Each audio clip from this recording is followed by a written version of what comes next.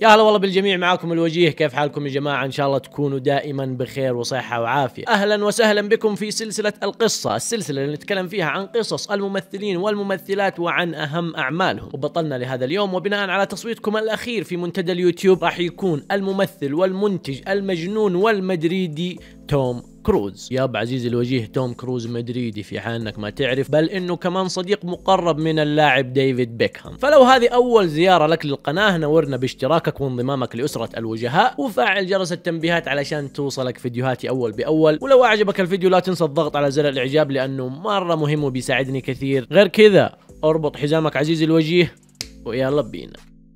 I'll answer the question. You want answers? I think I'm entitled. You want answers? I want the truth! You can't handle the truth. توم كروز مابوذر الرابع. وهو ممثل أمريكي من أصول إنجليزية وإيرلندية وألمانية. وهو برضه منتج أفلام و stunt man أو مؤدي مشاهد خطيرة لنفسه. عادة الممثلين يجيبون ممثل بديل لهم إذا في مشاهد صعبة في الأفلام ما يقدروا يسووها بأنفسهم. بيروحوا يجيبوا ممثل بديل علشان يسوي هذه المشاهد بالنيابة عنهم. زي مشاهد انقلاب السيارات أو القفز من مبنى إلى آخر أو قيادة طائرة حربية أو طائرة نفاثة أو القفز من ارتفاع مرة عالي بمظلة معظم ممثلين هوليوود يجيبوا ممثل بديل إلا توم كروز. لا. أنا أسوي هذه المشاهد بنفسي. فلو يوم شفته يسوق طائرة اعرف إنه هو فعلا كان يسوق الطائرة. تلاقيه راح درس وتعلم كيف يسوق الطائرة وأخذ رخصة طيران وقدم هذاك المشهد. في أحد اللقاءات توم كروز قال أعرف أسوق طائرة نفاثة وطائرة عادية وطائرة هليكوبتر وأسوق دبابات ودر. الولد يعرف يسوي أشياء كثيرة. فلو شفته يوم من الأيام برضه يقفز من مظلة من ارتفاع عالي تاكد إنه هو اللي قفز بنفسه. ولو شفته يسوق سيارة أو دراجة نارية في مشهد خطير ترى ما في أي مؤثرات. توم كروز هو اللي قاعد يقدم هذه المشاهد. بل إنه تعلم كيف يحبس أنفاسه تحت الماء لمدة خمس دقائق تقريبا أو أكثر يمكن ستة دقائق. كذا تخيل يقعد تحت الموية ستة دقائق يفرفر يعيش حياته ستة دقائق تحت الموية. ومو علشان شيء علشان يؤدي مشهد معين في فيلم Mission Impossible حتى مشهد صعوده إلى أعالي برج خليفة هو اللي سواه بنفسه كل شيء كان هو لحاله بس. هل هو مهايطي أو هل هو إنسان مرة ملتزم تجاه وظيفته كممثل؟ قد نختلف وقد نتفق ولكن الأكيد إنه قاعد يقدم جميع أدواره بكل حب وتفاني وإخلاص. وأحد أكبر الأدلة على نجاح توم كروز هو إنه أغلب أفلامه دائما ما تحقق إيرادات تتجاوز ال 100 مليون دولار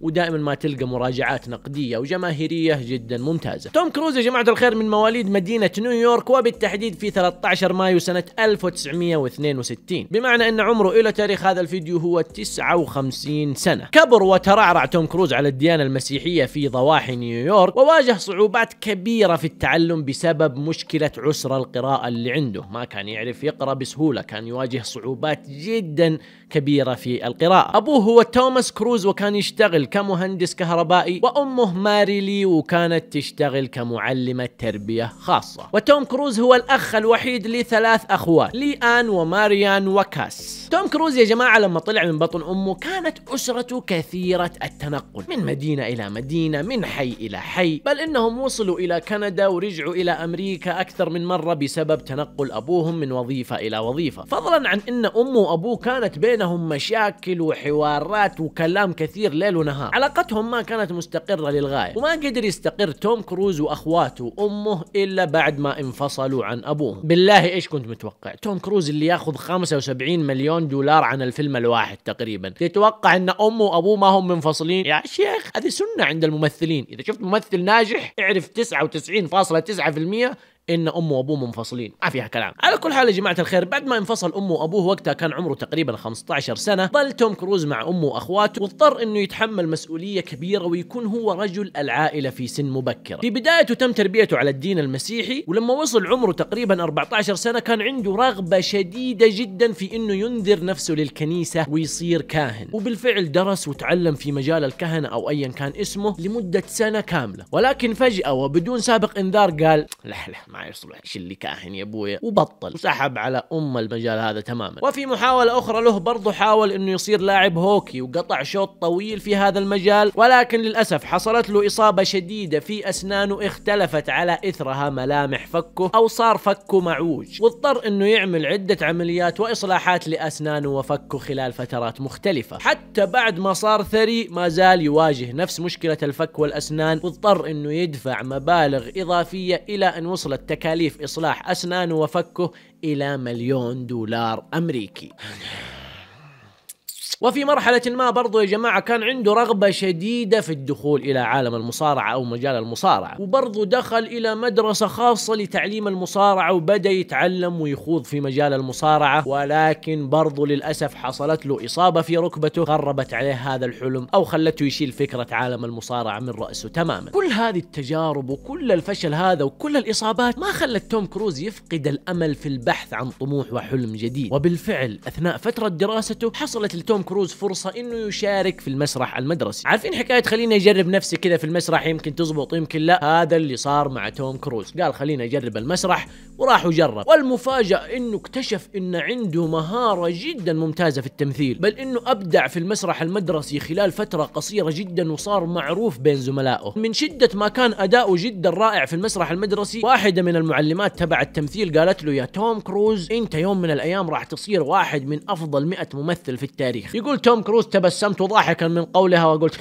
خير إن شاء الله. ما كان متوقع. ما هو حاط في باله أصلا. يعني أوكي أنا أعرف امثل بس أفضل 100 ممثل مش معقولة. وحصلت وعلى غير تخطيط وقع توم كروز في حب التمثيل والمسرح وترك جميع احلامه وطموحاته. الثانية قال لنفسه أنا ممثل أصلا. أنا خلقت لأكون ممثل. وش لي وش للمصارعه وش لي وش للكهنه وش لي وش للهوكي أنا ممثل. خلاص. لازم أسلك طريقة تمثيل وأبدأ أدعس فيه. وبالفعل استمر توم كروز بممارسة التمثيل أثناء المدرسة ولما صار عمره 18 سنة ترك المدرسة تخرج من الثانوي لكن ما كمل الجامعة وانطلق إلى مدينة نيويورك لحاله لما كان عمره 18 سنة وبدأ في أخذ دروس في التمثيل. في نفس الوقت كان يبحث عن فرص للدخول إلى عالم السينما. ومباشرة وبعد سنة واحدة تقريبا من وصوله إلى نيويورك قدر توم كروز إنه يلقى أول فرصة له. وكان دور بسيط جدا في فيلم اسمه Endless Love سنة 1981 الجميل في الموضوع إنه توم كروز في دوره البسيط هذا جذب انتباه العالم كلهم من شركات إنتاج من مخرجين من صائدي مواهب. بل وحتى الجمهور أعجبوا في هذا الوجه السينمائي الجديد سواء بسبب وسامته أو بسبب ادائه الممتاز جدا. هيا ركز معي. سنة 81 أول مشاركة له. 82 فيلم 83 فيلم 84 85 سنة 86 بعد خمس سنوات من دخوله إلى عالم السينما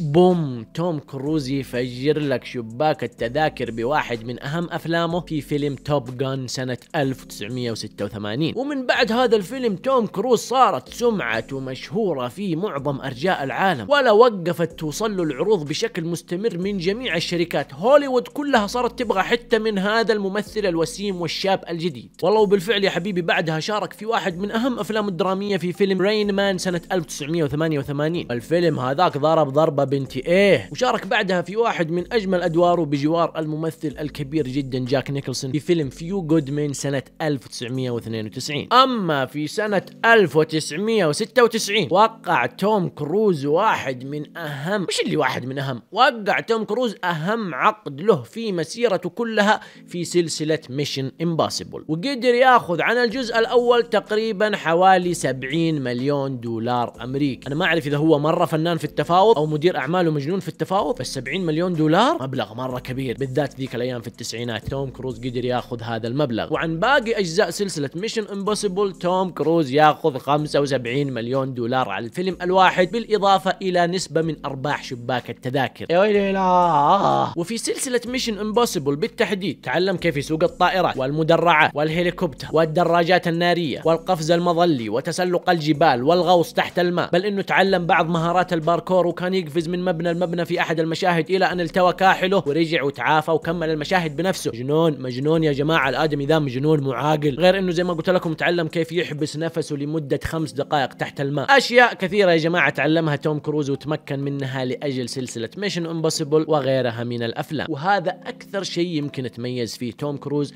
عن كثير من الفنانين الثانيين. ممثل بديل ما فيش. أنا الممثل البديل. ليش تعطوه فلوس؟ هاتوا فلوس وأنا أخذها. ما أدري إذا هو يفكر كذا ولا لا. بس ليه ليه ما تجيب ممثل بديل؟ ترى مي طايرة الدنيا. إيش المشكلة؟ وبيني وبينكم يا جماعة 75 مليون دولار. أعطيني أنا 75 مليون دولار حتعلم أتعلم اللي ما أتعلم. أت... أروح خارج الغلاف الجوي أصور فيلم. توم كروز ناوي يسوي فيلم خارج الغلاف الجوي. يقلع أم الفزقه خمس خلينا ساكت خلينا ساكت بس يا جماعة خلينا ساكت. الله يبارك له الله يبارك له. خلاصه الكلام يا جماعة توم كروز خلال فترة خلى العالم كله يعرفه وخلى الطلبات من شركات الإنتاج تصير توصل له بشكل مستمر. ولكن المميز والجميل في توم كروز إنه كان إنسان انتقائي أكثر من اللازم. ما كان يوافق على أي عرض يجيه بسهولة. يقرأ السيناريو يستشير يفكر يروح ينام يصحى ما يقول لهم okay على طول. لا حتى لو كانت في فلوس كثيرة. الموضوع مش موضوع فلوس الموضوع موضوع هل يعجبني ذا الدور؟ ولا لا؟ جاته فرصة إنه يمثل الدور البطولي لسلسلة Matrix بس رفضه. ما أدري راح عليه الدور. المهم إنه راح عليه بس الفكرة إنه جاله. يعني كانوا حاطين النور عليه. وجاته برضه فرصة إنه يمثل شخصية Iron Man أو توني ستارك في سلسلة أفلام مارفل أو في عالم مارفل السينمائي. وقال لهم والله السيناريو ما هو عاجبني يا جماعة. سبك سبك. ماني عارف إيش اللي كان مو عاجبه في السيناريو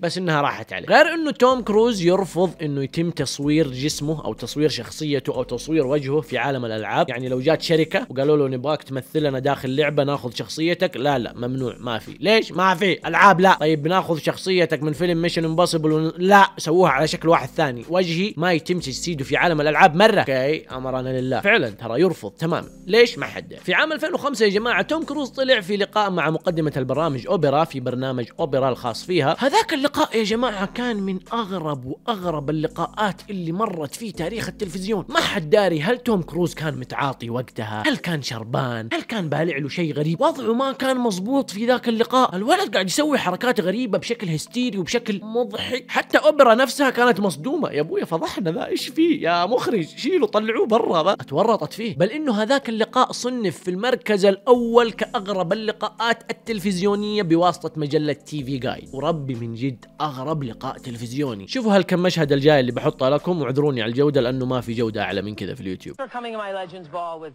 For coming to my Legends Ball with Katie. Was that the best fun? Was that? Yes, yes. What has happened to you?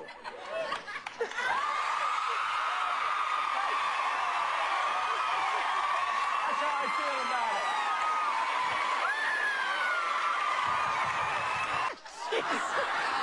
Oh, no, I know what he's doing. He's processing. He's- Have you ever felt this way I'm not gonna pretend. I can see you're not. You know Katie once told 17 magazine? Yes. Recently, but you know. do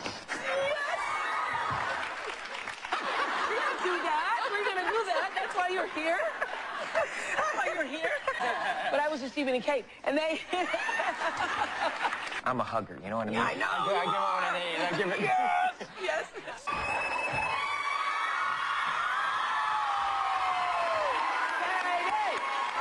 مرة غريب صح. فاكرين مشكلة عسر القراءة اللي قلت لكم كان يعاني منها توم كروز كان يواجه صعوبة في القراءة؟ هيا ركزوا معايا في أحد اللقاءات سنة 1992 توم كروز صرح بتصريح هز الكيان الطبي بطريقة جدا غريبة وساخرة. طلع توم كروز يا حبيبي ذيك السنة وأعلن للناس إنه الساينتولوجيا هي اللي عالجت مشكلة عسر القراءة عنده. كيف؟ يا ولد يا طيب الساينتولو إيش الكلام هذا؟ ولو أحكي لكم إيش هي قصة الساينتولوجيا هو يبغى لها فيلم صراحة لحاله أو فيديو لحاله بس بحاول أختصر لكم إياها الحين. لو حكيت لكم إيش قصة الساينتولوجيا راح يطلع فوق راسكم ألف علامة استفهام. ما فيها كلام إلا لو إنكم تعرفونها أو قرأتوا عنها. كيف ممثل فاهم وذكي وجريء زي توم كروز يؤمن بديانة غريبة وقمعية مثل هذه الديانة؟ علشان ألخص لكم فكرة الساينتولوجيا وكيف أصبحت ديانة أصلا ركزوا معايا كذا على السريع. في الخمسينات يا جماعة كان في كاتب قصص خيالية اسمه إل رون هوبرد آدمي كتب وألف كتب خيال علمي كثيرة. بعضها نشرت ككتب بعضها نشرت كمجلات بعضها نشرت داخل الصحف. في يوم من الأيام قرر هذا الكاتب إنه يؤلف كتاب له علاقة بتحرير العقل والتخلص من الذكريات السيئة ومن هذا الكلام. فجأة بدأ الموضوع يتطور عنده وقال لا